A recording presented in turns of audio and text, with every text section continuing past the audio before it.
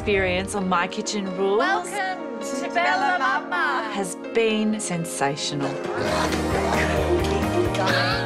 It's been really challenging. If you think I'm a bitch or whatever, fine, leave it at that. Whoa, it's like a five-spice batter party. God, it's been rewarding. The winner of the People's Choice is Angela and Melina.